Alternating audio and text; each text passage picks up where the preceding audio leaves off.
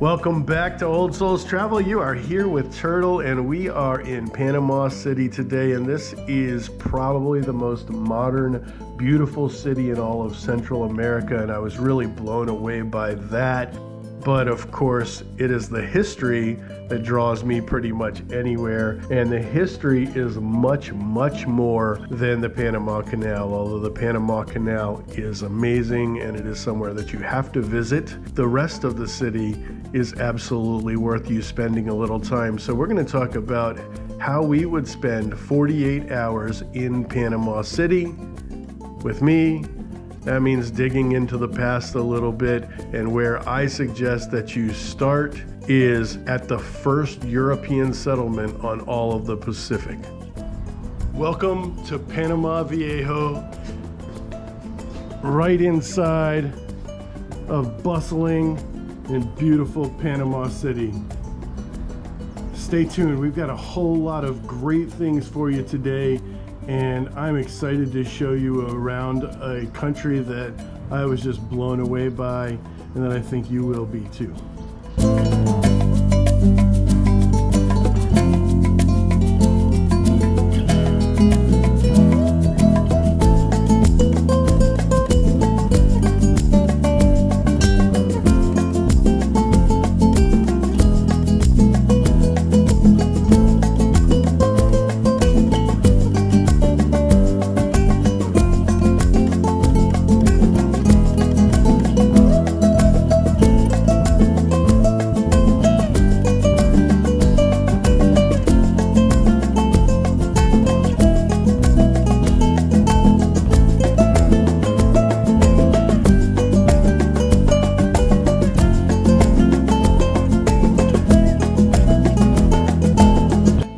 Of the things that most impressed me about Panama Viejo is that it is still preserved despite being right in the middle of the city. The city was pretty much built around it, and you've got traffic and you've got the hustle and bustle, and right inside there is this treasure of history that's just amazing. Behind me are some really old iron cannons, and uh, a couple of them have been held up pretty well, which makes me think that they aren't actually from the site. But a few of them look like they're probably authentic and were found from here, especially this one. It has seen some aging. You can look around the front and look around the cannons for free, but if you want to get into the site, you pay your $10 for foreigners and you can either walk in or you can take an ATV or a tram. And since we were the second people there and wanted to be the first on the site, we jumped in the tram with a couple other people and started making our way down towards the main part of the city. And you get to see some of the ruins here, including probably the most dynamic, which is the bell tower and that was absolutely beautiful even from a distance. But i always suggest that you start with the museum not just because i run a museum but because museums are awesome. And this one starts out so modern and then it leads directly chronologically to the native americans. And i think this is really important for you to understand before you see the modern european history we're here at the Museum of Panama Viejo, which is the original settlement and fortification in Panama City, which was the second in all of Panama. So this was the first European settlement on the Pacific side of the Caribbean or in the Pacific at all. But what I love about this is it starts out with this great display about what it is to be Panamanian and then it forces you into a chronological follow along and you come into an area that discusses all of the native tribes, which seems to have been very closely related to the same lifestyle of the Maya and kind of bridge the Maya civilization, which would have been further north, with some of the South American civilizations. And they had a really complex pottery system. It doesn't look like they got into too much of the monumental architecture that you expect out of a Maya culture, but uh, they seemed like they were really well developed and uh, had a pretty good life here. and then the Spanish came and life changed.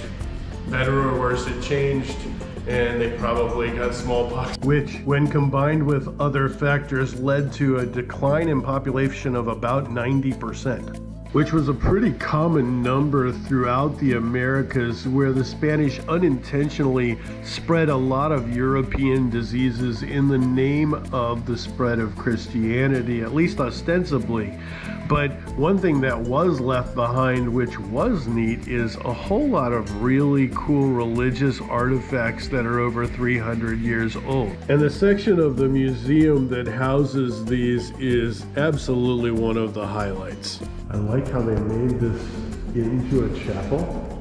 You see what I'm saying? I didn't Really, it's a really classy way to like if you're gonna throw a bunch of Christian art into something, make it look like a, a chapel because that took a lot of forethought with this floor plan. It means that the floor above doesn't have something in this section. And that was only one of the touches that were really nice. There was also some of the artifacts that were used there and used in the expansion of the Spanish and would have been essential for there.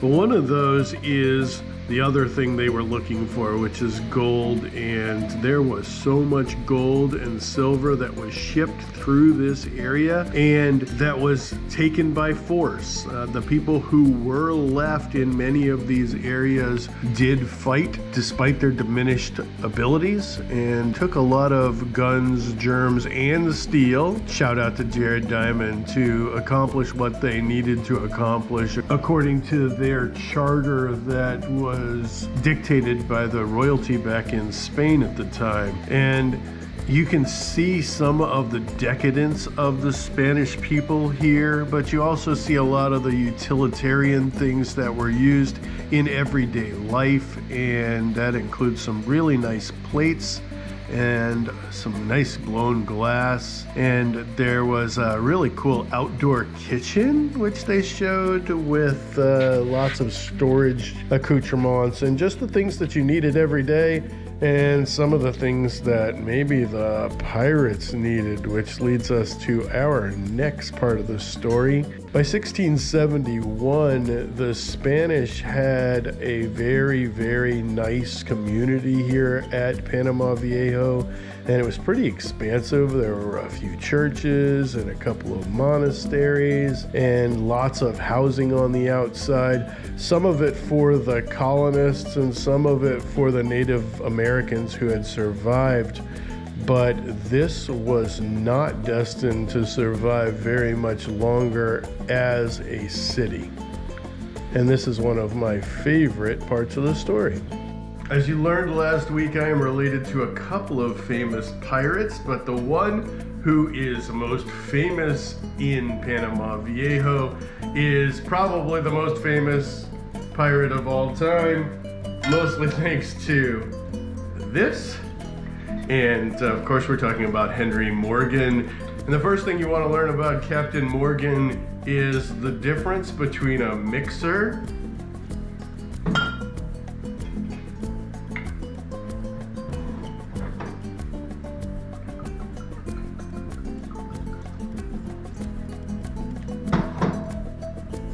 and a sipper.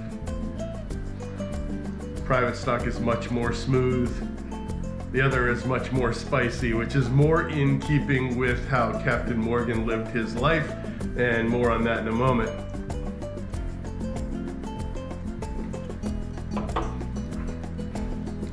Captain Morgan was quite the scoundrel. This was a Welsh poor man, and he was conscripted into essentially slave labor in the Caribbean and when he was freed, he really didn't have a whole lot of options of things to do. And so he became a pirate.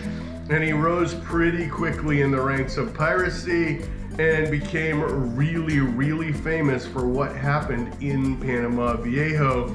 But beforehand, there were some things that led up to this and made it so amazing. Number one, he raided Portobello, and you'll learn a lot more about Portobello if you stick with us in two weeks. And then he did this daring raid in Maracaibo where he took his lead ship and he set it on fire and sent it into the Spanish ships and that was a big victory. And what that did for his Panama Viejo raid, which is what we're talking about today, is that it was able to recruit for him nearly 2,000 pirates, which is the largest standing pirate army of all time. And they came over in January of 1671 landed over near the mouth of the Chagres River, which, if you think of it, was kind of like the Panama Canal before the Panama Canal. And for six or seven days, he came across attacking little fortifications. And when he got to Panama City, there was this giant battle, and the Spanish leader was actually pretty vicious and able to fight relatively well, being so unmanned. But he did eventually lose and Captain Morgan kept a bunch of people hostage and waited for a bounty, which was something that they would normally do. But when he left, he burnt the place to the ground, and that is what led to the ruins that we will see today. And that is what led to them moving to Casco Viejo, which we will see next Saturday at 10 o'clock. So stay tuned.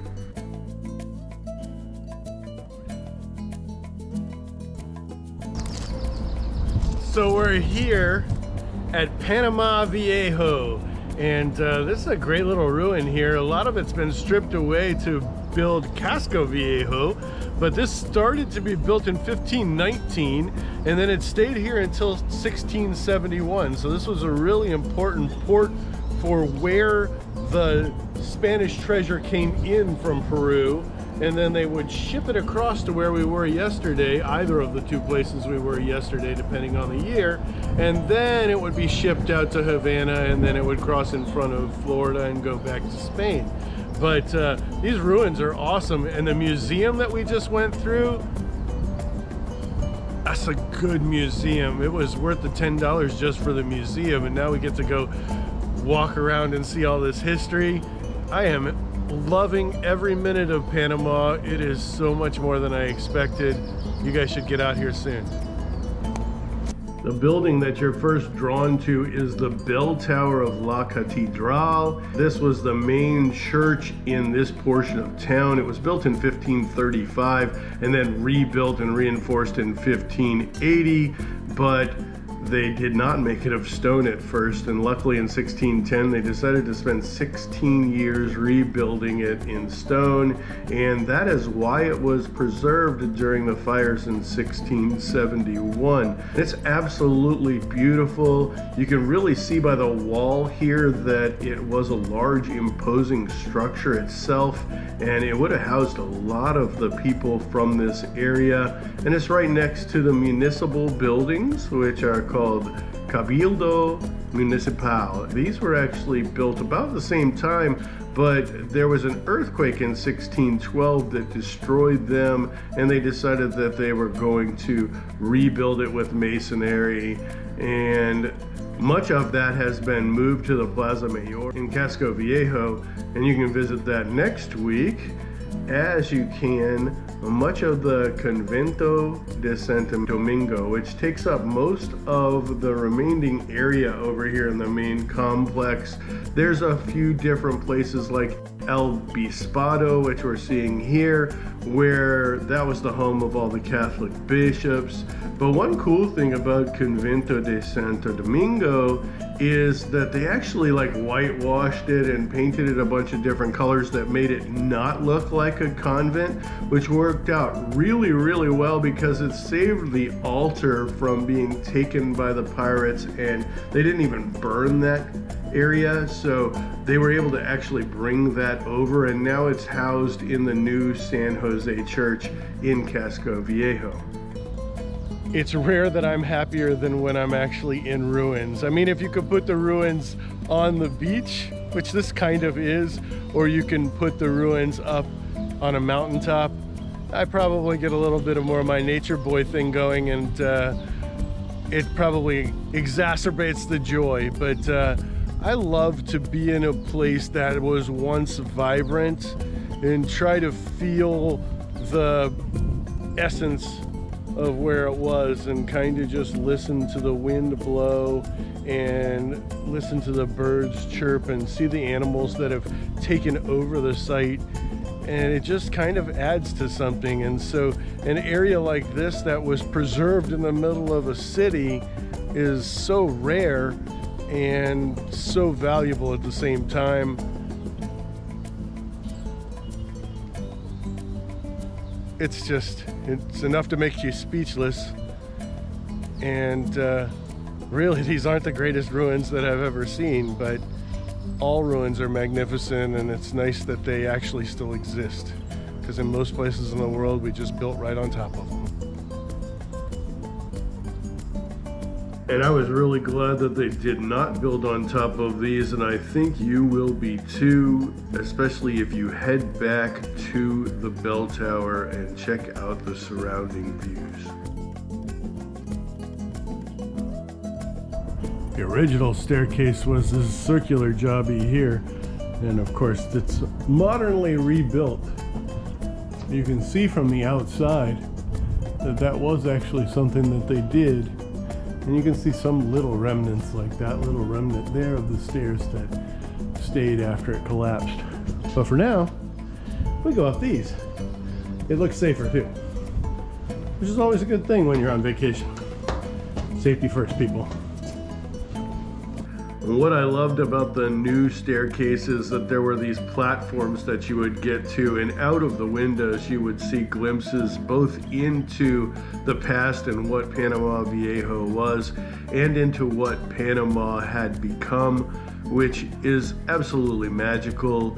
And then you head towards the exit and you can actually ride to the exit if you want to with that same ATV or the same tram system. But I suggest that you walk it's kind of surreal to walk through and watch how there becomes less and less of the ruins as you walk further and further towards the new town and the reason for this is that they were able to use a lot of the stone from this in building next week's destination of Casco Viejo the one exception however is a really nice church that they left standing.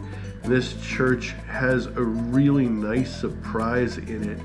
I know we got to see a lot of the statues and the bells and the things that were used in the religious practices here, but from what I understood, the statue that stands in the church actually stood here through the fire and it remains here till this day behind glass to protect it but it really is kind of nice to see it in situ and I just really enjoyed this church. I can't imagine how grand it would have been at the time when it was built and it stands as a remembrance of those people and that time as do all the other walls that you'll see along the way Keep your eye out also for some iguanas. There's a lot of iguanas in the area. They seem to be the only inhabitants of Panama Viejo at this time, but they certainly lend a bit of authenticity to it, as do some of the fruit trees and things like that. But the value really of Panama Viejo